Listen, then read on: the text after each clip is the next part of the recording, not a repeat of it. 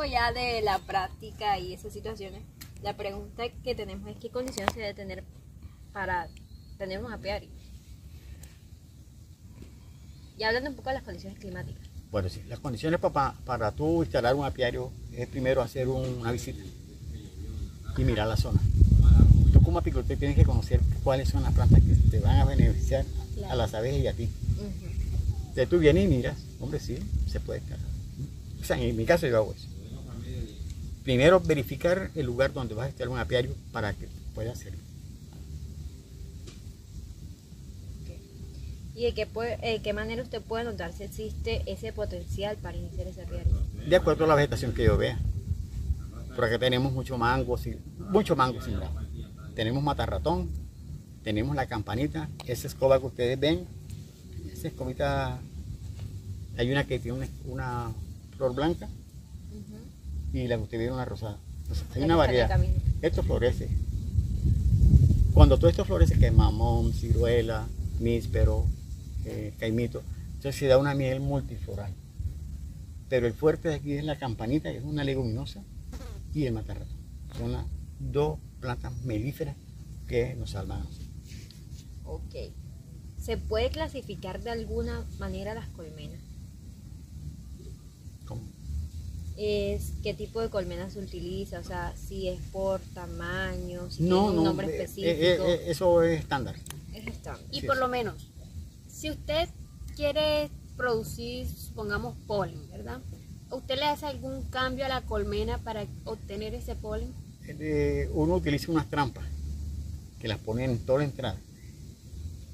Miren, esas trampas que uno pone en la entrada, la abeja viene con el polen en unas bolsitas en las patas traseras. Entonces cuando ella pasa por la malla, se le, raspa, le raspa eso. Y eso cae en una gavetica adentro. Miren lo que pasó.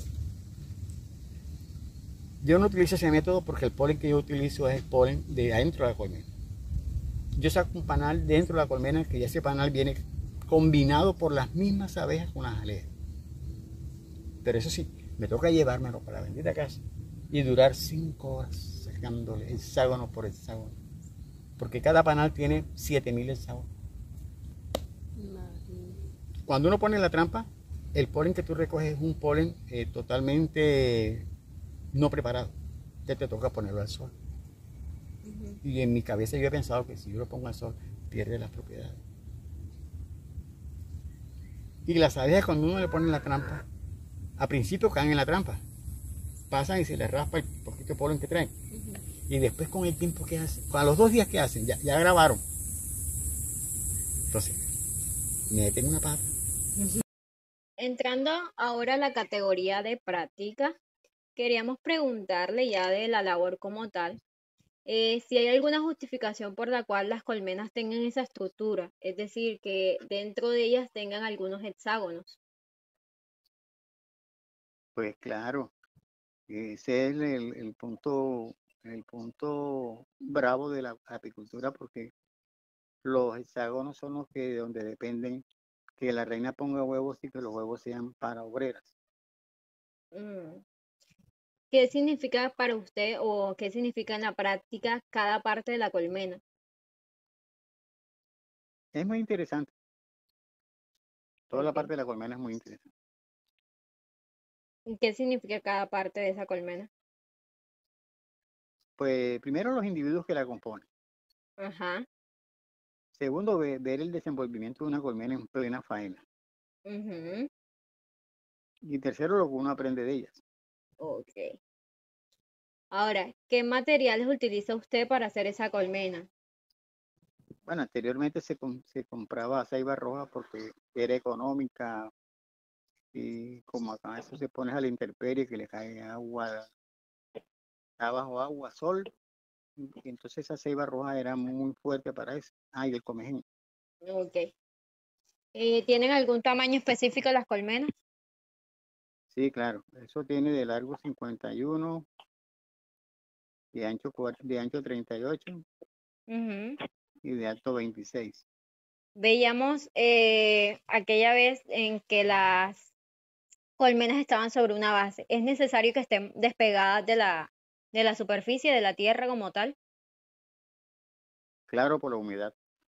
Ok, ¿y en qué afecta la humedad eso? Enferma la colmena. Oh, interesante. ¿Cuántas colmenas hay en el lugar? 22. ¿Habían más o siempre han permanecido las mismas? No, habían como 30. ¿Y por qué se fueron reduciendo? Se han ido reduciendo porque los años no han sido los mismos que nosotros vivíamos antes. Tú sabes que tenemos cambio climático. Exactamente, sí. Y yo le- lo que yo le comenté que el, mismo dueño de finca han cambiado las cercas naturales que teníamos como matarratón por limoncillo. Ajá. Eso fue. Entonces eso pues ha mermado la apicultura mucho, mucho. Ok. ¿Cuál es el área del terreno en el que estos momentos se encuentran eh, las colmenas? 20 por 20. 20 por 20. ¿Y eh, eh, cómo se distribuye la posición de esas colmenas en el área? O sea, ¿cómo la acomodan? Bueno, eso se pone siempre de acuerdo a donde sale el sol. ¿Sabe eh, qué técnica utiliza usted para la recolección de la miel, la jalea, el polen, que son los productos que se hacen? Bueno, lo, lo de la miel porque es el punto fuerte de nosotros, la explotación de la miel. Lo del polen, lo que yo les expliqué, y la jalea, que ya viene incorporada con el polen. Ok, listo. Y una preguntita adicional a esta categoría es, ¿cuál es el espacio mínimo que debe tener una colmena en un área? ¿Cuál es el espacio mínimo para una colmena? Eh, tres metros entre una y otra.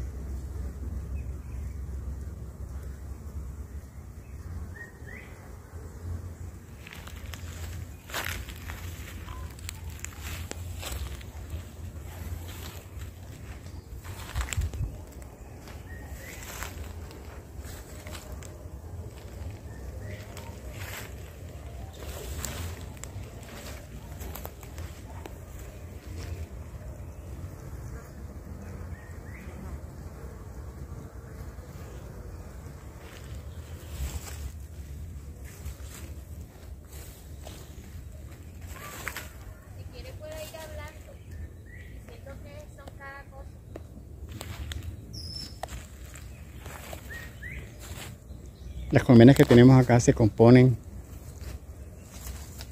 por ejemplo, esta se compone de dos alzas. Las dos cajas de encima son cajas receptoras de miel. Esta que se encuentra solita, eso es cámara de cría. Y esta que tenemos acá, una sola alza. La colmena se compone de base, caja, tapa. lleva intermedio entre la caja de cámara de cría y la receptora de miel una rejilla llamada excluidor para que la reina no traspase en la parte. El apiario se encuentra en buen estado. Se ve buen movimiento. Eso es presagio de que están consiguiendo buena alimentación.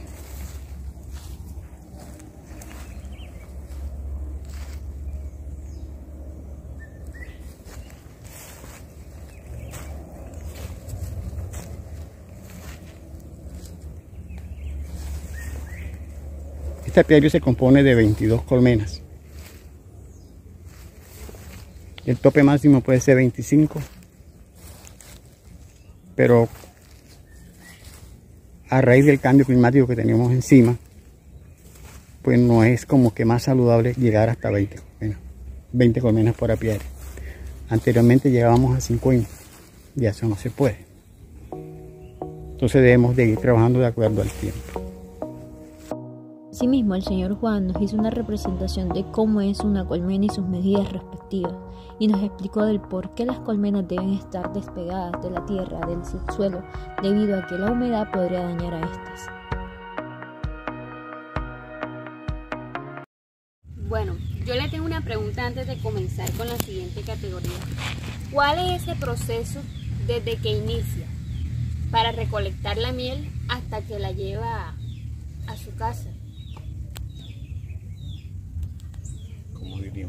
O sea, cuéntenos todo cómo va, o sea, yo voy al apiario. Bueno, vengo al apiario, sacamos la miel, del apiario se va la miel toda con partículas de cera.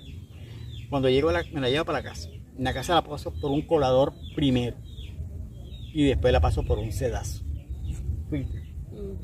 Después de ese filtro la paso al tanque de decantación y por unos 10 días dura ahí en, en reposo para que todas las impurezas se suban y después yo le saco eso y empiezo a envasar la miel.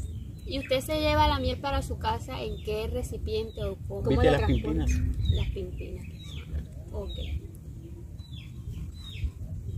Ahora bien, hablando un poco sobre la producción, ¿a quién usted le ofrece su producto? Tengo personas que le pongo miel a consignación. Ellos me ayudan a expenderla. ¿Y qué influencia tienen las plantas que hay en el lugar para una buena producción? Eso lo, eso lo elige como apicultor. Uno va a la zona y mira que esto, esto, mata ratón y a las que le mencioné. Entonces, dependiendo de esas plantas, las que hay allá. Yo pongo la piel. Porque ya usted sabe que va a haber una buena producción. sí, pues si tú me dices, vamos a unas colmenas en, en La Guajira, puro cardón.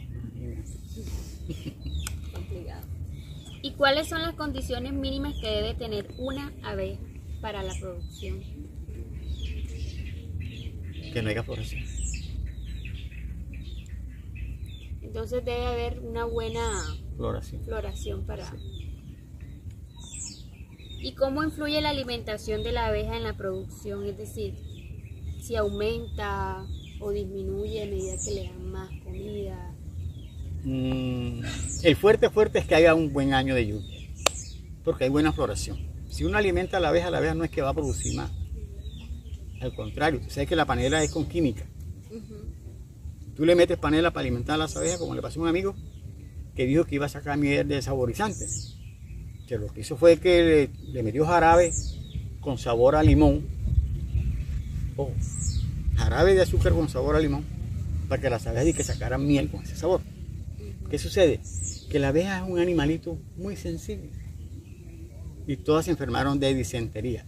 En, la jerga nuestra es diarrea. Todas se le enfermaron. Entonces uno no puede ponerse a, a inventar nada. Si no, si el año te dio miel, bendito Dios. Y si no dio, bendito Dios. Y ahora una pregunta, ¿las plantas que hay en el lugar guían la ruta que sigue una abeja? La misma abeja regula la ruta. Una abeja va a una parte donde consigue bastantes flores, ella va y coge. Y viene acá y ¿qué hace? Tiene un baile que se llama el baile del jubileo. llega a la entrada de la colmena y hace esto. De acuerdo a las vueltas. Siguiendo a la otra categoría, eh, vamos a seguir con la siguiente pregunta que dice, ¿cómo hacen para calcular el número aproximado de abejas que se necesitan para tener una excelente producción? Bueno, eso, eso más bien lo regulan ellas. Y uno ahí no, porque uno lo que trata es de mantener reinas nuevas para que siempre mantengan una población fuerte. Ok, entonces eso más bien depende de, de la reina. De la reina. ¿Y en un año con qué frecuencia recolectan miel? Eh, dos veces al año. Dos veces al año. ¿Y esta en qué meses se realiza? Enero, febrero, marzo. ¿Y cuál es la cantidad de miel que recolectan cada año aproximadamente? Un de año una bueno, sola colmena. Un año bueno puede dar 20 kilos por colmena. 20 kilos por colmena. Perfecto. Y ahora, ¿cuál es el proceso luego de recolectar la miel para llegar al producto final? Es decir, ¿qué sucede cuando usted recolecta la miel? ¿Qué paso sigue para luego ya llevar al producto final que se lleva a la venta? Bueno, como uno trae la, eh, la miel en pimpinas, eso viene con, con mucha partícula de cera. Uno se trae eso para el campamento, digamos la casa de uno, y le hace el colado primario y después viene el filtro para que la miel, la, ah, después se echa un tanque de reposo y a los 10 días se envasa en, en la botella. Ok, perfecto. Y hablándole un poco sobre esa diferencia que hay entre la miel que se recolecta y la miel que vende, ¿hay alguna variación entre esa cantidad o siempre permanece la misma? Siempre es la misma. Ok, perfecto. Ahora, ¿la preparación de la colmena sufre algún cambio según la producción que se desea? Es decir, que si usted está enfocado en recolectar polen, ¿le hace algún cambio a esa colmena? Eso es muy cuidadoso porque si uno le explota mucho polen, la colmena se baja definitivamente de la población y eso no va a funcionar. Ok. Ahora, ¿puede estimar la cantidad de miel que se, que se producirá según los factores del cambio del medio ambiente? Es decir, en un año que hay mucha sequía, ¿cuánto, ¿cuánta miel aproximadamente puede producir una colmena? Se ha bajado hasta 8 kilos. Hasta 8 kilos, ok. ¿Y qué se necesita para que exista un buen rendimiento productivo? Es decir, tener en cuenta eh, que las abejas no se enfermen. ¿Qué se necesita? Que sea un año bueno en lluvias. Ok. ¿Y de qué forma almacenan el producto final? En, en frascos. ¿Y qué cantidad o qué capacidad tienen esos frascos? 360 centímetros cúbicos. Ok, perfecto. Y si usted quiere, está enfocado en recolectar polen, ¿le hace algún cambio a esa colmena? Eso es muy cuidadoso porque si uno le explota mucho polen, la colmena se baja definitivamente de la población y eso no va a funcionar. Ok.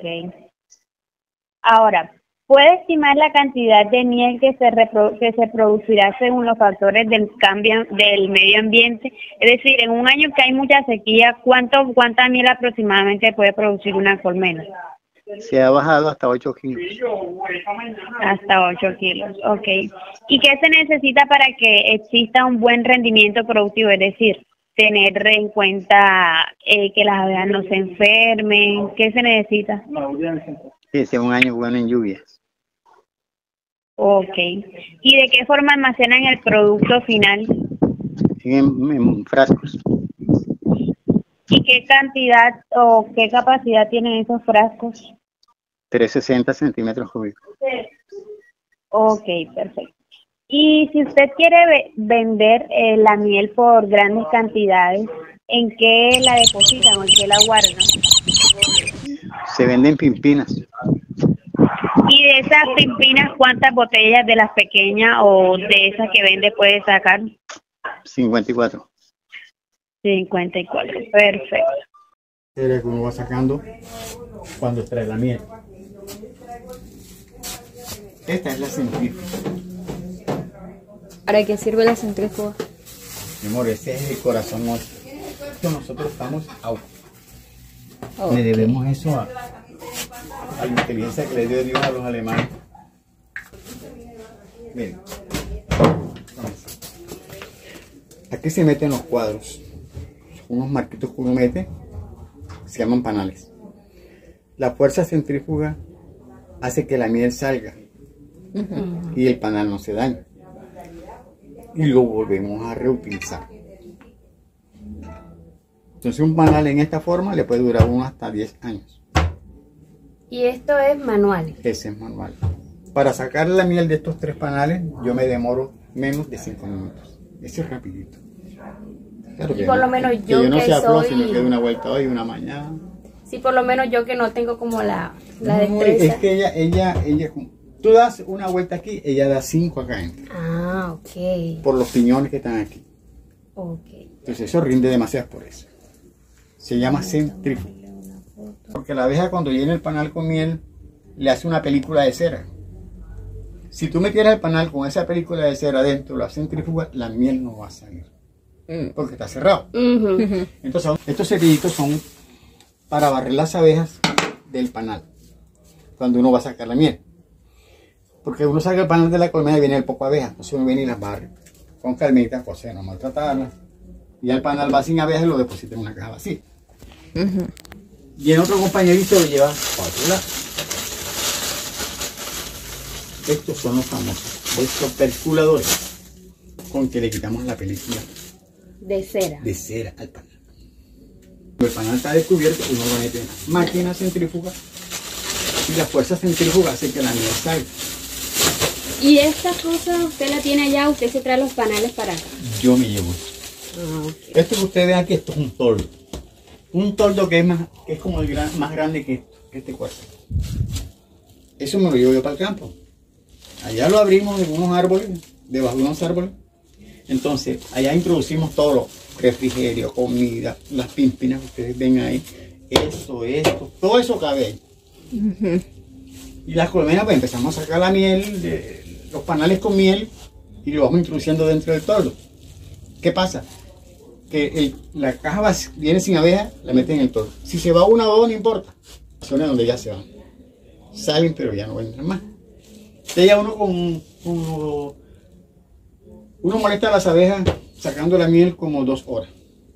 Para sacar 20 alzas, 20 cajas con miel. Demora dos horas.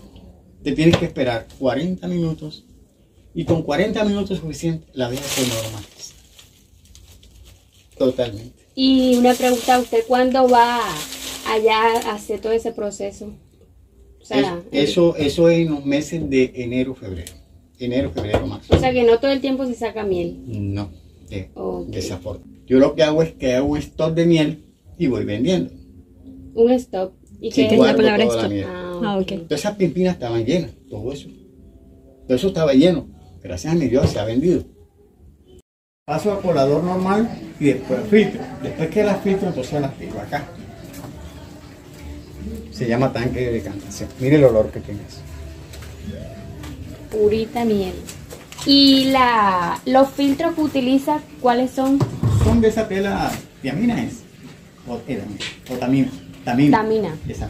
Y aquí comienza a llenar los potes, A los, la a los botella. 10 días de colado ya la miel está en reposo. Porque todas las impurezas se suben. Que uno saca todo. La miel es el producto que todo lo lanza hacia arriba. No se queda con nada en el bolsillo. Todo lo manda. Que uno le saca todo y cuando empieza a colar. Ok. Para que salga nítida. Hace casi tres pimpinas. Y tres pimpinas manda 162 botellas. de esas.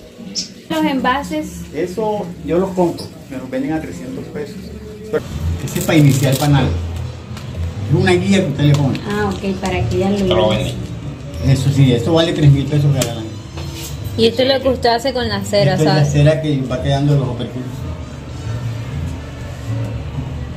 Y de este tamaño es la lo que entra allá en la... En la máquina.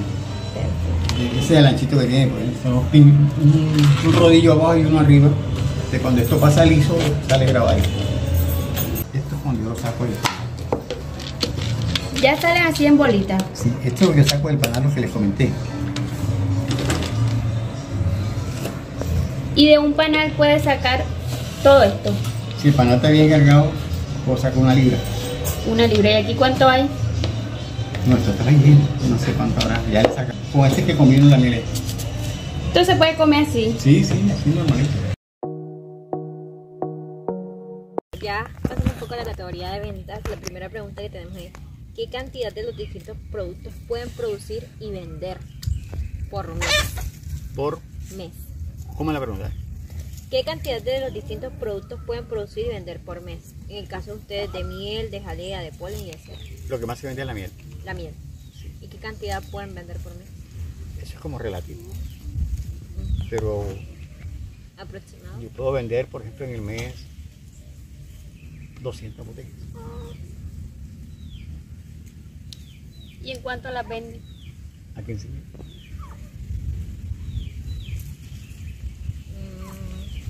Y esas botellas que usted utiliza nos había dicho que las compra en cuánto? En 300 pesos. En 300 pesos. Vimos que habían distintos tamaños de botellas, ¿cierto? Sí. Eh, varía el precio de acuerdo al tamaño de la botella y cuánto varía. Regularmente la que yo utilizo es la panchita esa de guardia. Las otras envases que ustedes vieron, esa es para hacer los regalos a las personas, o sea, mi familia. Pero la que va es esa panchita. ¿Cómo se calcula anualmente esas ganancias? Yo llevo mi libro de Contadura. yo lo llevo. Cuando ya haya pasado la cosecha, ya, ya, ya abril, ya estoy abril, ya abril, ya estoy listo, ya no saco más. Listo. Entonces, me siento con mi calculadora y mi vaina. Claro, no puede faltar Anima Planet y mi televisor. Y acá me pongo a, ahí saco mi, mi- mi- cuánto gasté, cuánto me quedó. Y hasta, gracias a Dios, desde que estoy en esto, siempre he apuntado a ganar. Eh, última pregunta. ¿Venden miel al por mayor? Cuando había eh, cantidades excedentes, se podía. Ya no. Y estos son algunos de los productos ofrecidos por esta empresa llamada Dulce Vida. Y así finalizamos nuestro trabajo en campo. Muchas gracias al señor Juan por su tiempo, dedicación y conocimiento.